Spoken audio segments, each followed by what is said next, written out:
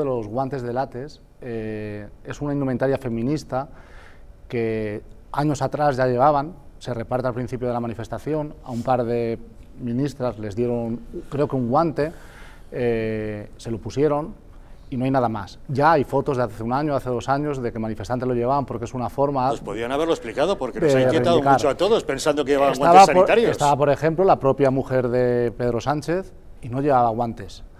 Eh, pues yo creo que hay que tener, eh, decir este tipo de noticias porque tenemos una responsabilidad los medios eh, cuando eh, a lo mejor eh, ponemos este, este tipo de noticias y asustamos a la gente. La ministra lo sabía y llevaban guantes de látex, no. La propia mujer de Pedro Sánchez estaba y no llevaba. Bueno, Dos. pero Pedro Sánchez previamente había ordenado desinfectar.